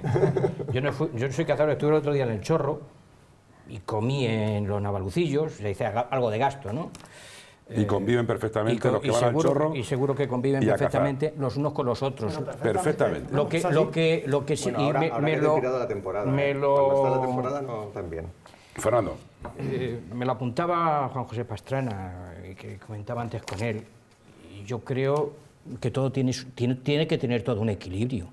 Por eso a lo mejor son importantes los de- ecologistas, aunque los cazadores no lo vean tan Hablando de importante. economía, economía. Eh, sí, sí, sí, no, eh, pero, Sí. pero no, si es que iba a la economía, ¿verdad? Porque ese equilibrio es el que hace que, la econ- que no se monetarice el- eh, la caza, solamente sea todo dinero. Porque si todo en la caza es dinero, hemos acabado con la Primero es caza. afición y luego... Hemos, luego- hemos acabado con la caza. Y entonces, por tanto, yo creo que tenemos que centrar el tiro, y nunca mejor dicho, Correcto. en ese sentido. Pero eh, yo creo que Castilla-La Mancha, que es un, un referente de turismo cinegético, mm, y yo creo que es importante y eso lo debemos cultivar, eh, que pero, pero evidentemente compatibilizándolo con el respeto al medio ambiente. Lo que decías antes, el, el- el PIB representa el 1,7 del PIB en los datos del 2016, que son los últimos que se tienen, y 634 millones de euros. ¿vale? Representa la caza. Y, y, a su vez son el 28% del PIB agrario de Castilla-La Mancha, que tiene un peso importante en una región como, como la nuestra. Pero es que además son 23.550 puestos de trabajo, ¿eh? que también es importante. Luego, por todas estas cosas hay que valorarlos. Y como tú decías, 57 millones de euros de retornos fiscales. Bueno, y esto significa, evidentemente, no solamente empleo en el ámbito de la hostelería, el retorno fiscal, que también representa algo importante, el, tema de la educación, también hay sensibilización respecto de lo que es la naturaleza para muchos cazadores, Seguramente hay muchos que no, o hay algunos que no, pero la inmensa mayoría yo creo que son muy sensibles a la naturaleza. Otros, lo que decía antes, lo que pretenden es monetarizarlo todo y claro, cuando todo se monetariza no se hace economía, lo que se hace es depredación. Y por eso hay que tener mucho cuidado. Yo sin ser cazador he estado muchos años eh, dedicándome a esto de la voz, a realizar, narrar, locutar documentales, Miguel Ángel, algo que a mí me apasiona y que he conocido España a través de los documentales. Y lo que siempre me sorprendía de, España era Cantábrico, Cordillera Cantábrica, Castilla-La Mancha, todos los parajes que ofrece España es que lo que hay aquí no lo hay en ningún sitio del mundo. Los parajes tan bonitos y extraordinarios que tiene España. Eh, de eso no hemos hablado. La gente viene a cazar en España porque somos el territorio de la caza en muchos lugares, desde Gredos hasta el norte, el sureste, cualquier parte de nuestro país es un lugar privilegiado para que otros cacen. ¿no? Eso hay que tenerlo en cuenta. Bueno, eh, vamos a hablar de la ley de caza en Castilla-La Mancha y va a tomar la palabra precisamente Fernando Mora, porque una vez modificada, eh, votada y ratificada en las Cortes de Castilla-La Mancha, esta ley que dice el gobierno de la región que es más social, ha creado un término entre los cazadores y partidos como el Partido Popular que ya la denominan la ley anticaza de Castilla-La Mancha. Al Pleno de las Cortes llegaron nueve enmiendas del Partido Popular que fueron rechazadas. Las enmiendas de Podemos que estaban encaminadas a elevar la edad mínima a los 16 años también fueron rechazadas. El Partido Popular manifestó que esta ley, la que tenemos ahora de hace muy poco tiempo, era una hoja de ruta para cargarse la caza en la región. El consejero de Agricultura siempre ha mantenido que ha hablado con todos los sectores implicados, que fomenta la caza social, pero mientras la Mesa de las Cortes aprobaba el pasado mes esa modificación de la ley de caza, la Mesa de la Caza de Castilla-La Mancha, compuesta por las principales organizaciones del sector cinegético de nuestra región, Federación de Caza, Proca, Ática, incluso Asaja y la Federación de Galgos, junto con otras, expusieron 15 razones para rechazar esta ley que consideran Fernando Mora una reforma ideológica. Pues yo creo que no. Pues ellos creen que sí. Sinceramente, yo creo que no. Yo lo he dicho al principio, no es fácil conciliar posturas, no es fácil conciliar posturas. Son tan legítimas las reivindicaciones de los cazadores como de aquellos que no lo son, de los ecologistas. Evidentemente el gobierno no es un gobierno de cazadores ni es un gobierno de ecologistas, es un gobierno que tiene que conciliar diferentes eh, visiones de la realidad y eso mm, hace eh, que unos u otros pues puedan entender mm, que les perjudica de una manera u otra. Yo creo que esta, esta ley, eh, yo, mm, lo dice bien el consejero cuando dice que la ley es más social que la anterior, por varias razones. Primero, eh, se restauran los cotos sociales de caza, que se habían quitado en su momento, dejaron de existir los cotos sociales de caza. Mm, el tema de la licencia de caza, por ejemplo, para los mayores de 65 años, es gratuito. Y de pesca. ¿Eh? ¿Eh? Y de pesca también, pero bueno, como estamos hablando de la caza, mm. eh, hablamos de la caza. Eso también hace que haya un sector más importante que se incorpore. No hemos aceptado la enmienda de, Podemos que pretendía elevar la edad para poder cazar a los 16, a los 16 años por varias razones. Usted dijo que era absurdo. Es que lo leo. Fernando Mora ha afirmado que es absurdo elevar la edad mínima hasta los 16 años como propone Podemos mientras el reglamento estatal de licencia de armas es que está bien claro es que está bien claro es decir o sea que eh, un, chaval de 14 años puede tener un arma porque se la porque se porque eh, bueno el reglamento de, armas eh, así lo permite y resulta que no que no puede cazar no creo que sea ese no creo que sea ese el problema. Una ley social es la que tenemos ahora yo creo que, el gobierno. Yo creo que, mucho que- más social. Yo creo que mucho más social, más, mucho, más mucho más participativa, posibilita que mucha más gente pueda, pueda incorporarse al sector de la caza. También, yo creo que también es una, una ley que preserva también más el medio ambiente, que también es muy importante. Por eso hablábamos de, de- de conciliar. Es más respetuosa con ese medio ambiente, pero también es respetuosa con la fauna, con la sanidad, con la sanidad animal, que también está incorporado en la, Bueno, en la nueva ley, pues espera, eh, porque hay, hay elementos muy importantes ¿no? Eh, en, en- en ese ámbito. eh. Bueno, yo creo que... Cosas que no has dicho. Mira, Fernando, por ejemplo, la mesa regional que agrupa a, a cantidad de, de asociaciones eh, cinegéticas, de cazadores, de caceros, como decían en mi pueblo, ha esgrimido varios motivos, ¿no? Pastrana, eh, por los que la ley no debió aprobarse o reformarse, como es el hecho de poner en riesgo una modalidad como son las esperas de, a los jabalíes, las esperas a jabalí, cuyos argumentos de la Consejería para avalar su continuidad no comparten ningún jurídico de España. Por ejemplo, que hay mucha inseguridad jurídica, atribuciones excesivas a los agentes medioambientales, la prohibición de cazar en parques eólicos. Hay muchos cotos en Castilla-La Mancha que están en parques eólicos, la ampliación de las zonas de reserva, la prohibición del calibre 22, la sobreprotección a los animales asilvestrados, la persecución a los cotos comerciales o la prohibición de la caza en los cerramientos interiores. Y ya Si para terminar, contestando todas y una, sí, pero- y también se eleva exponencialmente el régimen sancionador, ahora se duplican las cuantías también en las sanciones, así que las faltas graves le pasan de, de 3.000 a 6.000 y las muy graves Pero, de pero- 30.000 a pero- 60.000. pero- pero no tendrá que Bueno, ser no el son- tema son de las datos- faltas, no tendrá que ser el tema de las faltas, pero son porque, datos más de porque la- el que cumple la ley no tiene problema. Efectivamente, Pastrana, analizamos esa ley de caza. Vamos a ver, eh, lo primero es, eh, la ley tiene que obedecer a una necesidad. Teníamos una, ¿qué necesidad hay de cambiarla? Primer punto. Yo la necesidad que veo es, eh, estamos transformando la sociedad en accionistas de Walt Disney. Tenemos, eh, nos cae muy bien Bambi y entonces a nuestros hijos eh, les educamos en que a Bambi hay que respetarlo. Si matamos a Bambi, chungo. Joder, se nos caen todos los valores. Cuando realmente no le inculcamos que probablemente si limitamos la cantidad de Bambis, los Bambis que haya vivirán mejor y todos nosotros tendremos un bienestar social más, eh, eh, mucho mejor. ¿Tú crees que esa no es la concepción de la ley la que tú estás diciendo? La concepción de la ley es, es, es una ley en la cual eh, casi que al venado se le conceptúa como una mascota. Y- ¿Dónde lo pone? Es Pero no el- solamente te digo dónde lo pone, es que tú sabes que una buena parte de la ley anterior sigue vigente. Por O sea, supuesto. luego, Y por- entonces, luego- ¿qué luego- necesidad tenemos tanto, de cambiarla? Pues, pues, pues sencillamente porque la anterior ley fue una anterior, una ley que no tuvo el consenso social, ya os digo, 120.000 firmas en contra de la ley. La, la- la ley que en esta región ha tenido... pues, ¿eh? Y las firmas estas no serán por personas poco documentadas. Bueno, vamos a ver, yo no, llama- yo no me atrevería a llamar indocumentado a nadie.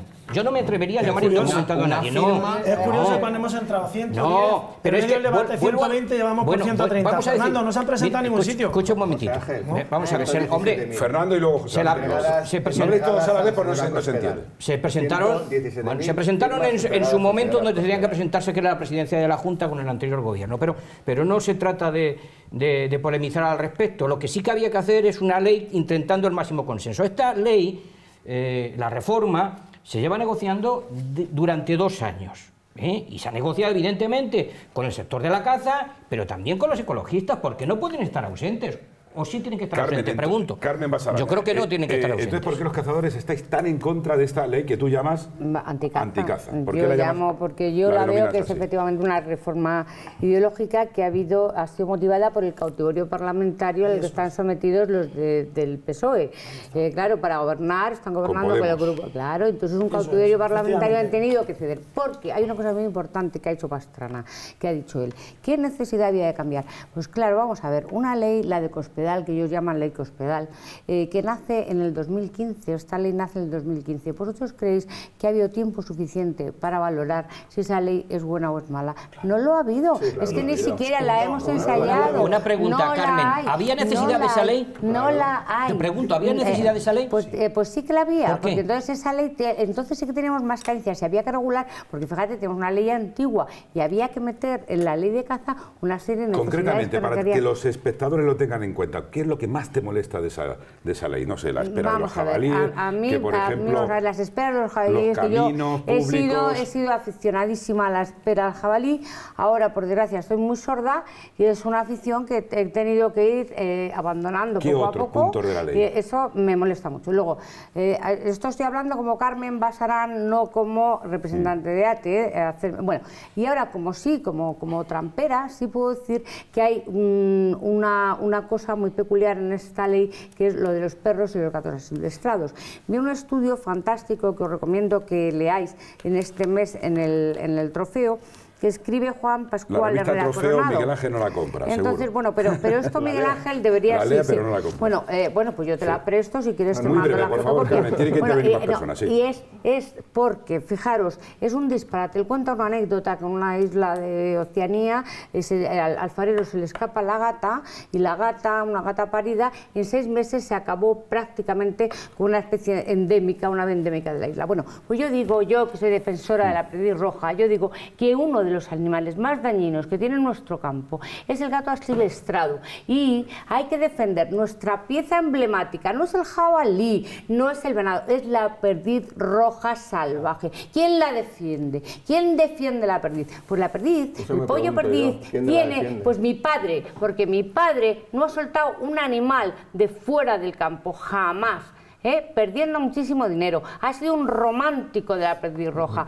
Y esos pollitos de perdiz, que empezamos a ver la perdiz con 18 pollos, a los dos días tienen 8, pero al siguiente tienen 4, porque tienen una cantidad de depredadores. Y uno de los más importantes, Mora, son los gatos asilvestrados. Fíjate, este señor dice, y acabo, por Acaba, favor, por favor, mm, que, sí. que- que se acabaría el problema, fijaros qué cosa tan sencilla, poniendo el cascabel al gato. Y es verdad, esos gatos que se escapan, les ponen un cascabel y eso ya les impide cazar. Porque la- de, los la- cotos, de los cotos intensivos y de los cuarteles de Estamos- caza comercial, no, por no, favor, no. Eh, que estamos son las que contaminan la, Sí, la población de los no, sí, sí, no, por supuesto. alcalde, alcalde. Por ¿Quién le supuesto, estoy hablando de los gatos. Perdón, estoy hablando de los ¿Por qué no habláis de vuestro sector? ¿Por qué Pues no no. sois Porque autocríticos alguna vez? Es que. ¿Alguna claro, vez? Claro que soy autocrítica. Por favor. Ese día me desmayaré. No quiero un debate, somos seis que personas, por favor. autocrítica. Somos seis Eh, personas. Bueno, vamos a ver. es que- Respetar y es que, ayudarme, vamos a ver, respetar. Pero es que no hay derecho que alguien hable más que yo.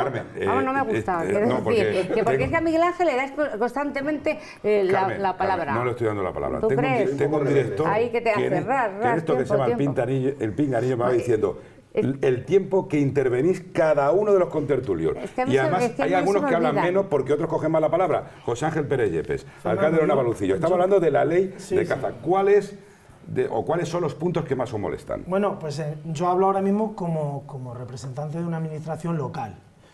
Has dicho antes, Fernando, que se ha tenido en cuenta, has hablado con asociaciones y demás para llevar a cabo esta reforma que se ha hecho de la ley. Se ha hablado con los ayuntamientos porque nos incumbe la reforma en la que habéis metido que será, eh, será eh, de nuestra incumbencia la recogida de los animales silvestrados. ¿Cómo vamos a hacer eso los Los ayuntamientos son los que ¿Cómo tienen vamos que a hacer hacerlo. eso? sí, sí. Tú explícame, porque Antigua eh, y Matilde, que es, eh, perdón, por- me confundo Carmen, con, con tu hermana, Carmen. ¿Cuántos alguaciles tienen Navalucillo? Alguaciles hemos tenido dos, Uno. hasta- Ah, ahora se nos la figura. Y en los pueblos, No, no, pero se sigue- o se- municipales, pero no, se- lo que digo porque una de las partes de la ley precisamente habla que son los ayuntamientos pequeños, Claro. grandes, los que se tienen que dedicar a recoger esos A animales. recoger esos animales. Eso es un problema. Este señor hace Eso es un gran y supongo problema. que el fontanero de allí, el electricista, el, No, el vamos de a mantenimiento hace de todo en el pueblo. No, ¿no? es que ahora mismo, era así antes, ¿eh? ahora mismo hay eh, una empresa, una empresa a través de la Diputación de Toledo que te recoge los animales, pero una vez que le tienes recogido, o sea, tú ya le tienes que tener sujeto, ¿vale? Y ahora tú me dices a mí eh, cuando vaya una persona andando tranquilamente de paseo por el campo y se encuentre un animal silvestrado, tiene que llamar al ayuntamiento. Lo primero, el ayuntamiento ya tiene que tener un servicio a las 24 horas del día. Esa es la primera, porque si no, a ver cómo recoges. Y luego, ¿dónde tienes ese animal? ¿Cómo le das unos cuidados? ¿Y cómo le coges? ¿Eh? ¿Y cómo ¿Cómo, lo le manejas? coges? ¿Y cómo le manejas? Tendremos que... ¿Eh? Eh, pero todo eso lleva unos costes, pero todo eso lleva unos costes. Pero y no si se ha tenido, no, no, en si se ha tenido en cuenta No sé. por parte de, no, no, si se ha tenido en cuenta a todas las asociaciones, a grupos ecologistas, a los ayuntamientos también. Por supuesto. Vamos a, y vamos no a- se ha tenido en cuenta. Vamos a sí, rematar pero a la vuelta de la publicidad. No, no quería utilizar la palabra re- rematar en un, en un programa como este. Pero, eh, Carmen, estoy intentando repartir No, los no, tiempos no, y no ya- es fácil. voy a hablar. no es fácil. No, lo que pasa es que él, salta, salta demasiado. Pido que a lo mejor vosotros, mira. Juan Manuel que tranquilo y Pastrana que está tranquilo. ¿no? Está abierto el debate y los, micro- los micrófonos abiertos para que vosotros podáis intervenir en cualquier momento. Seguimos con la ley de caza, pero luego vamos a hablar de especies y de ecosistema, de medio ambiente, aquí en este especial, en este monográfico dedicado a la caza en Teletoledo, en el Braserillo.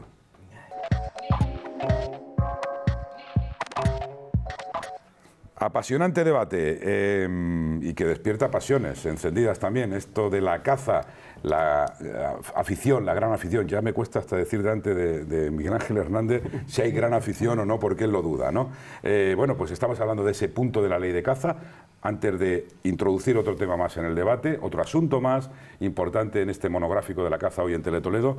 Eh, bueno, pues el alcalde de los Navalucíos hablaba de que ahora se tienen que hacer cargo, uno de los puntos de la caza, de la gestión también y recogida de, de animales asilvestrados incluso, que para ello sería otro, otro problema añadido, estando las economías de los pueblos como están, ¿no? Miguel Ángel, eh, habéis sido parte importante de esa, de esa ley, se, se os pidió también eh, bastante, bueno, además he leído muchas cosas sobre Miguel Ángel Hernández como, como precisamente portavoz y miembro que ratificó esa ley, de la que no sé si estará satisfecho, ¿no? Si al final consiguió lo que quería su asociación. Hombre, en, esta sociedad nunca hay victorias completas y tal vez sería incluso mala noticia que un determinado colectivo se impusiera sobre el resto. Eh, Vivimos en una sociedad que es, es múltiple, que tiene que dar cabida a todos los sectores, e independientemente de las posiciones más ideológicas o menos ideológicas que uno defienda, pues a la hora de la verdad también hay que ser práctico. Un esfuerzo que hicimos, por ejemplo, en Ecologistas en Acción y en la plataforma contra la ley de caza de Cospedal fue intentar dejar al margen el debate que se dice ideológico de caza, caza sí o caza no. Eso es algo que la sociedad tendrá que discutir y, se irá evolucionando, como con el tema de los toros o con otros temas que, que son polémicos hoy en día. A día de hoy la caza es una realidad sobre el territorio, hay un contexto legal en el que se tiene que mover y en base a eso hay que legislar. ¿Qué pasó en la legislatura anterior? Que sobre esa base se hizo una, una caza a eh, el servicio de un solo sector, que es el cinegético, sin atender eh, las alegaciones y las peticiones del resto de los sectores. No hubo ese debate y bueno, pues aplacó, aplicó una mayoría parlamentaria y se hizo una ley que era mucho peor que la del 93. O sea, la comparación es odiosa, pero es así. El ejemplo es el de las sanciones que hemos dicho aquí. ¿Cómo se puede entender que en el siglo XXI rebajemos a la, mitad las acciones que había en el siglo XX? O sea, o estamos en contra de las actividades ilegales de la caza o estamos a favor. Si estamos en contra, vamos a penalizarlas ¿Cómo con criterios interpreta, de este año, ¿no? ¿Cómo interpreta cuando los cazadores dicen que esta es una ley ideológica, reformada ideológicamente, anticaza? No lo entiendo, porque para empezar, si fuera anticaza sería se prohíbe la caza en Castilla-La Mancha. ¿Usted Ahí, sabe cómo- ahí es donde estaría la ideología. ¿Usted sabe ¿no? cómo definió el señor Llorente, el diputado de Podemos, de los dos que tiene, uno de ellos es vicepresidente, el señor Llorente, en las Cortes Regionales de Castilla-La Mancha los cazadores? ¿Lo sabe? No recuerdo muy bien. Definió a los cazadores en las Cortes como, esto está en el, en el libro de sesiones, ¿eh? una minoría de la población que se divertía matando, maltratando y masacrando animales silvestres o criados para tal fin. Y eh, decía el señor Llorente, de Podemos, que la caza para los que ocupan la vicepresidencia, bueno, para, el señor de la, de la vicepresidencia del gobierno de Castilla-La Mancha, para, para esta gente, dice que no sirve para gestionar la fauna ni para controlar de manera efectiva las superpoblaciones de especies cinegéticas. Juan Manuel. Es que he visto una paradoja ahí de criados y, y salvajes, no, no, un poco extraño, ¿no? Sí, vamos a ver. Eh, la caza, Hablamos de la ley. hablamos de la ley. Bueno, hablamos de la ley. Si te digo la ley, uno de los problemas que va a tener esta ley, eh, le voy a decir ahora mismo, es el famoso artículo que dice que hay que descargar un arma cuando tengas una persona a 50 metros. ¿Por qué? Eso va a ser es un, un problema. problemón impresionante. Es decir, que a Estamos 50 metros, cuando, ya, hay- sí. cuando, cuando venga El dominguero de turno, perdón, el, el, dominguero, el- el cazador o un senderista o un- Sí, quien sea. tiene que descargar el arma y... esté a 50 metros. Vale. Y Eso va a generar ¿Por qué? problemas todos los días. ¿Por qué? porque es una forma de, de meterme, si ahora me voy, esta caza que soy yo, voy a hacerle la puñeta para que no cace. Bueno, o de que en una, en una montería se, Se acerque un grupo de cuelen, personas se nos y quieran Se reventarla. Ya, ya ha ocurrido. Es que además- Ya ha ocurrido. Ya ha ocurrido. Ha ocurrido. Pero es que eso En- está en- verdadero. En Galicia. Sí, En Málaga, es el que- otro día- en- en vamos Málaga a el ver. otro día. Una vez. Es que eso ahora mismo estaba regulado perfectamente porque eh, están, están obligados la- los cotos de caza a poner una señalización en la que dice prohibido, pues está. Entonces no hay problema con los 50 metros de seguridad. Pero Miguel Ángel Es que, tampoco. es que no es necesario poner los 50 Pero metros. Según la ¿Por qué con estadística, perdón, eso? según la Porque ahora mismo- estadística, eh, lo- lo- los accidentes de caza desgraciadamente se han produci- producido entre los propios cazadores y Claro. dentro de la montería. Pero todavía no con Pero- seteros. No, no, ha, pero habido- vamos ha a ver. habido muertes No, pero- de seteros en Ávila, pero en, en- tener- Pero, pero en- no, no, durante no, una no tengo yo ese dato. Tengo el dato de que en. España no ha habido ninguna mejor, Mira, mira, mira, léete mira. mejor nuestro informe porque... Miguel Ángel, te voy a Bueno, pero es tu informe, pero no- en los informes de las noticias No, no, y de los viene, informativos pues no he leído ninguna muerte Busca, solo cinegética, eh, por actividades cinegéticas dentro de la. recolector de seta, el año ahora mismo no me acuerdo, fue hace tres o cuatro años. Le dispararon. Un disparo. Pero Miguel Ángel, es que se saltaría la barrera o la señalización que pone, porque no están habría- obligados. o no mira, habría barrera mira Miguel Ángel, te voy a decir una cosa. Yo he ido no a trabajar, hacen. yo Déjale, por he favor, ido déjale a trabajar eh, a las monterías. He ido de guía de perreros, yo. Y te pones delante de las armas, ¿vale?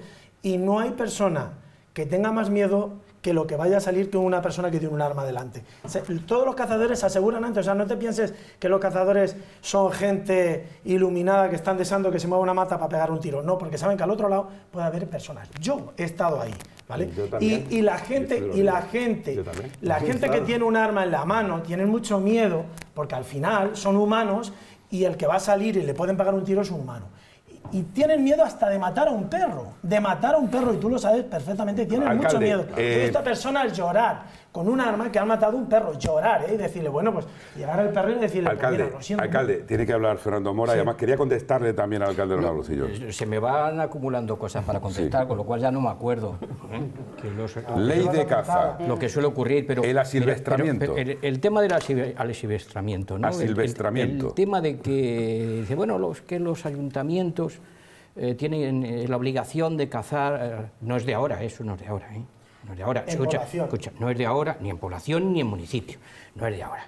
¿eh? Eh, posiblemente tiene más problemas el ayuntamiento de Toledo, ¿eh? Con las palomas, con los gatos o con los perros sueltos, que el ayuntamiento de los Navalucillos. Seguramente bastante más, hasta en proporción, hasta en proporción. Y eso y, y- y esa labor es una labor municipal, no es una labor abstracta. Eh, tú antes hablabas de los mapaches, ¿vale? Y decías mm, que cazáis mapaches con trampa, ¿verdad? Aquí no se prohíbe cazar a los gatos y a los perros asilvestrados con trampa, evidentemente. Entonces, no entiendo por qué. Cuando, el cazador, cuando va a cazar, no va a cazar un gato, ni va a cazar un perro. No va a cazar, va a cazar un conejo, va a cazar un venado, va a cazar eso. Entonces, por tanto, hay que acabar con, eso. Y luego un, tema, evidentemente, de concienciación, que también todas las administraciones tienen su responsabilidad. Y es que evidentemente las, las mascotas son para cuidarlas, si es que se tiene mascota. Y si no, no se tiene mascota. ¿Vale? No, no, es que eso, eso es un tema de concienciación importante. Lo que no se puede decir es que una ley es inválida porque dice eh, que no se puede cazar ni perros ni gatos asilvestrados. No creo que esa sea la cuestión. ley, no cuando, cuando resulta, cuando resulta, es decir, que todos reconocemos que hay mapaches y tú dices, ¿cómo los vamos a cazar? Lo, lo- lo que hacemos es cazarlos con trampa, por lo mismo. Entonces, yo creo que ahí está claro. El otro tema que tú estabas eh, planteando. Muy breve, por favor, que estamos en la recta final. Siempre me dice muy breve a mí. Adelante. Ya A te lo digo- todos, ya a te lo digo a todos. ti. Y, eh, pero eh, a veces no salimos de contexto. Dice, ¿esto dónde ha pasado? No, en Málaga. ¿Dónde ha pasado esto? En Ávila, en Segovia. Usted, que estamos hablando de la ley de Castilla-La Mancha. ¿Vale? Entonces, yo, lo- lo- en resumen, voy a decir una cosa, ¿eh? y es que eh, el- la ley de caza actual no es una ley anticaza en absoluto, en absoluto. Eh, que haya gente interesada en vender eh, ese producto. Que hay gente que no está de por- acuerdo, no, no no, y porque políticamente porque el Partido Popular no estaba tan desacuerdo. Pero políticamente No al PSOE le ha no, no, interesado estaba- eh, los argumentos de Podemos, señor está- Mora. no está- vamos a ver. Los argumentos de Podemos es que, le le, está han- es- reprochando es que le desde- han admitido desde el Partido un- Popular. que le han admitido una enmienda más que al PP.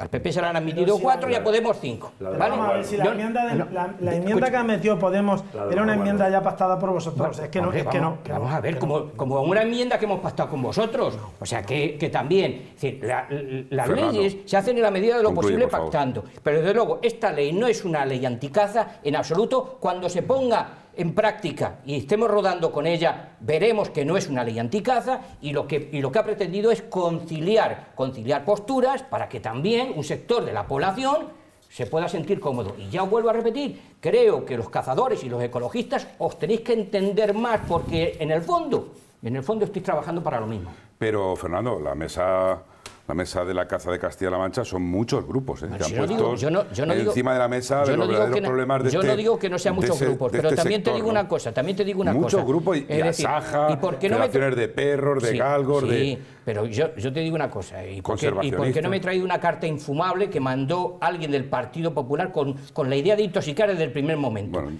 ¿Vale? Y yo desde luego no voy a entrar por esas.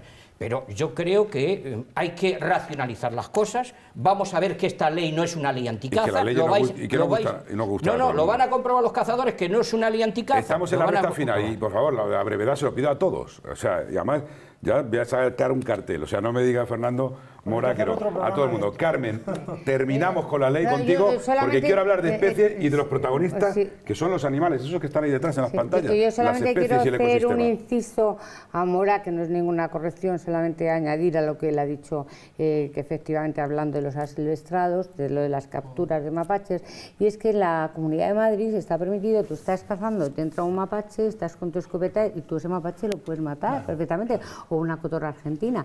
Entonces, en, en Castilla-La Mancha hasta ahora... eh, eh, eh, claro, claro, es que, eh, claro, pero es que vamos a ver, es eh, que tú estás cazando, te entra un gato asilvestrado y eso es una anticaza. Esto es lo que antiguamente se llamaba en el campo los anticaza. Pero no Esos centremos en el gato asilvestrado. Hay muchos puntos más de la ley Bueno, sí, que te bueno, están encendiendo. Es que me, ensaño Sí. ahí porque ahora estoy con las perdices y veo que los pollitos tienen tantísimos, eh, tantísimos enemigos. Pues vamos a el hablar. gato ¿Te asilvestrado parece que hablamos de las especies? es Habla- un va a hablar ahora. Juan, Juanjo Pastrana, porque además él eh, estaba hablando de todo lo relativo a especies y ecosistemas, la caza. eh, son las preguntas que dejo para el final. ¿no? La caza es una amenaza, es conservacionista, como actividad le- legal respeta el medio ambiente, es compatible con la gestión eh, sostenible. En el ámbito rural no había dudas en cuanto a lo que representaba la caza para las especies y el ecosistema y la actividad sostenible de una actividad legal y regulada que prima el respeto al medio. Y hablando de especies, perdices, que dice Carmen Basarán, jabalíes, venados, caza menor, caza mayor. Juanjo Pastrana, ¿es una amenaza para estos protagonistas tan preciados No, en absoluto. la caza? No. Eh, a ver, eh, está claro que en nuestra comunidad autónoma tenemos unas figuras relevantes en la, en la caza mayor y en la caza menor y por supuesto eh, existe personal eh, poco concienciado con este equilibrio que ha introducido a lo largo de los años otras especies que al final se han hecho pseudoautóctonas como puede ser eh, muflones, gamos en determinadas zonas, en fin. Pero son, son especies muy controladas que tampoco tienen una superpoblación y que actualmente existe un equilibrio con ellos y no son en ningún caso una alarma ni un desajuste poblacional con, con nuestras especies estrellas. Más allá de todo lo que hemos hablado de economía, tú como veterinario profesional trabajas para las fincas, pero bueno, también trabajas dentro del mundo de la veterinaria con las vacas y con muchas cosas más, ¿no? No eliminarías la caza. No, en absoluto, por Dios. A mí lo que me, lo que me llama la atención es que eh, dentro de este debate que tenemos aquí es la poca transversalidad que estamos generando. Es decir, nos estábamos centrando en que tú eres más feo que yo y no sé qué historia porque yo propuse no sé qué. No sé, yo es que no entro, quiero decir, conozco a cazadores de derechas, conozco a cazadores de izquierdas y no se, no se montan estas películas de yo propuse, tú propusiste. Eh, en muchas ocasiones todos estos, eh, eh, to- todas estas diferencias vienen, como estábamos comentando con Fernando en el recreo, eh, eh, como consecuencia de un humanismo mal entendido, que él dice que no, porque sí que es verdad que, que el perro y el gato han convivido en, en nuestra sociedad desde tiempos inmemoriales, Sí, pero... Tú has dicho lo de humanizar lo que no es humano. Es decir, también he oído a cazadores que, que dicen, bueno, a- a- a- no, a, no a cazadores, he oído a, gente de ecologistas, de animalistas, que dicen que, que, bueno, que hay que humanizar a estos, a estos animales. Y pregunto yo, al igual que los humanos tenemos derechos, supongo que estos, estos nuevos animales humanizados tendrán que tener obligaciones, ¿no? Exactamente. Claro, yo, no, yo, no, yo no conozco a ninguno que pague todo, impuestos. claro. No conozco a ninguno que pague impuestos. Y es más, lo que tenemos que hacer es restringirlos, porque esos bichos sí que van en contra del ecosistema. Esos sí que van en detrimento de todo, del sector, de la economía, de las especies protegidas, de todo. Y vuelvo a repetir, es un humanismo malentendido, es mucho más maltrato. Yo considero eh, que realmente es maltrato tener un husky siberiano en un piso de Toledo. Eso es maltrato. Miguel Ángel Hernández, de especies y ecosistema. Una parte importante, estamos ya en los últimos seis minutos. Bueno, pues eh, yo creo que está bastante claro que el, el modelo de actividad cinegética que tenemos ahora no, no, no está dando soluciones a, a esa, a esa ecuación que debería ser el mantenimiento de los equilibrios ecológicos. ¿no?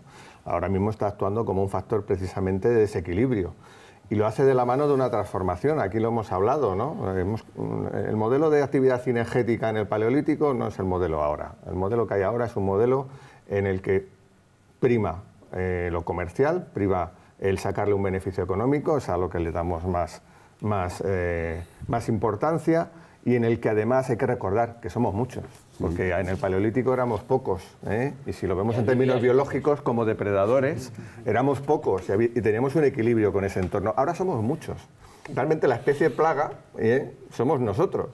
Y cualquier cosa que hagamos multiplicada por la cantidad de personas que somos, pues tiene un impacto enorme. Ir pensando un titular, ¿eh? Cada uno. Nada, un titular de 15 segundos, caza sí, caza no, ¿por qué? Eh, Parque Nacional de Cabañeros.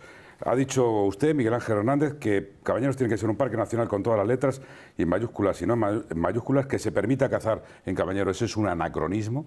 Y hay un- una parte, tú como presidente, José Ángel, eh, del patronato del, del Parque Nacional de, de Cabañeros, hay que anunciar a la gente que no sepa que los terrenos públicos del Parque de Cabañeros no se caza ahora mismo, pero en los privados, porque hay fincas privadas, sí, pero se va a prohibir en el año 2020, dentro de dos años. Esto va en detrimento de los propietarios. ¿Qué va a suponer desde su punto de vista, alcalde? Que no se pueda Hombre. cazar en esas fincas de cabañeros. Pues eso eh, va a suponer pues que a lo mejor algún, algún propietario de esa finca se plantee el, el mantener o no mantener esa finca.